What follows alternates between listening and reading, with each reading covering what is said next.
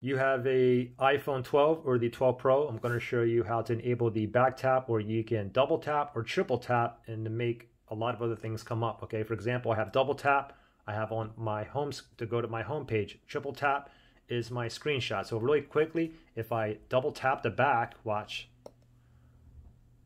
that's going to bring me back to the home page. Triple tap was a screenshot. So if I triple tap, it's going to take a screenshot.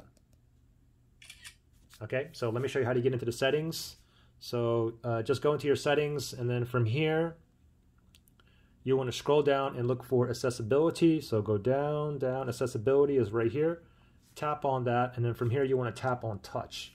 So let's tap on touch and then from here you want to scroll all the way down to the very, very bottom and it says back tap here. So tap on that and you can see double tap I have set for my home page and triple tap the screenshot. So for example, double tap let me go ahead and tap on that and then you can change it. You know, you can bring up the control center, you can mute, screenshot, you can bring up Siri, you can volume up, volume down by double tapping. You can bring up uh, assistive touch, you can scroll down, double tapping, scroll up.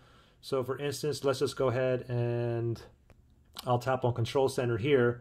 And now I have to go back to save it. Okay, so go back and now make sure that's on there. So I see control center there. So now if I go ahead and double tap, that's going to bring up the control center, which is same thing, top right hand side if you slide down, which is the control center. And the same thing with triple tap here, you can go ahead and change that. It doesn't have to be a screenshot. You have tons of other uh, options here as well. So pretty simple.